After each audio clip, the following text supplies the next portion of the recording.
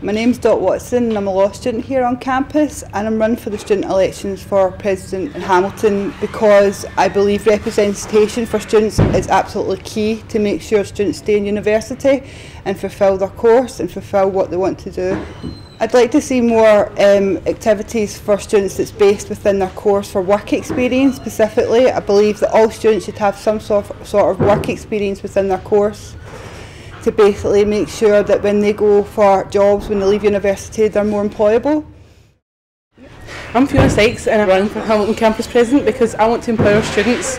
I want to make their time here much better, much more fun for them The main change I'd like to see is for students to know that they can come and speak to their campus president about anything at all. So I'd like to have a drop-in clinic uh, for students to know because the most thing, the thing I've found about speaking to students is that they don't know what their campus president is for. They don't know that they can come and speak to their campus president about any issues they have, and I'd like to change that.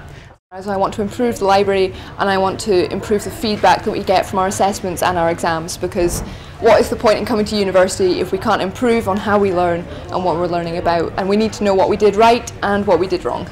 Improving events, improving the union. Um, I know a lot of effort is going towards improving the new campus that's due in five years time.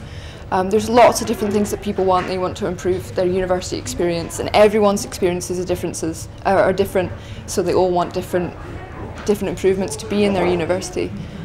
Not everybody wants to hear what you have to say, but those who do have been really great. You know, they really want to get involved. They want to change things for themselves. You know, they want to change things for other students. They want to make university a better place for them.